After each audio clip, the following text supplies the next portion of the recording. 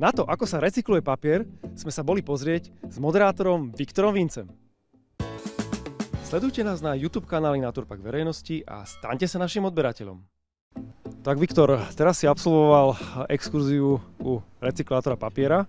Povedz nám svoje prvé dojmy, čo to v tebe zanechalo prekvapenie prvom rade, pretože som si hovoril, aký to je sofistikovaný systém a vlastne on sa stáročia v zásade nemení. Že ten papier sa rozpadne vo vode a vyvalká sa z neho nové cesto, ktoré bude novým papierom. Že tam nič viac sa nedieje, že to je len proste voda a starý papier a to ma veľmi prekvapilo. A vlastne aj Milo prekvapilo, lebo to je tak jednoduché, že neexistuje dôvod, prečo by sme to nemali robiť nás to samozrejme absolútne nič nestojí a veľmi jednoducho sa z toho stane nový papier.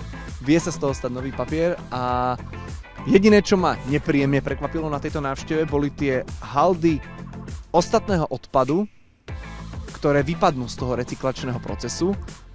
Haldy, ktoré sme my nahádzali do modrých kontajnerov. Topánky, samozrejme PET flaše, všelijaké deky som tu videl, stoličku, drevo, proste najabsurdnejší odpad, ktorý si viem vymyslieť, sa pravdepodobne nachádza v týchto kopách odpadu. Uh, je to maslo na našej hlave. Čo treba podľa teba urobiť, aby e, verejnosť začala tak zodpovednejšie triediť ten odpad naozaj do tých modrých kontajnerov vazovala tie veci, ktoré tam patria?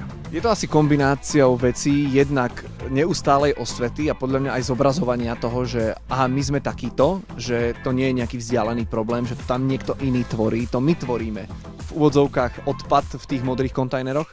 Čiže jednak je to neustálou osvetou, ale ja si myslím, že je to aj e, zmenou motivačných systémov triedenia alebo nakladania odpadov s odpadmi v obciach. Každý by mal zaplatiť za toľko, koľko reálne toho zmesového najmä odpadu vyvezie a e, samozrejme koľko reálne vytriedi. Takže myslím si, že kombinácia týchto dvoch vecí by to mohla veľmi zlepšiť a mohla by tomu veľmi pomôcť tomu systému.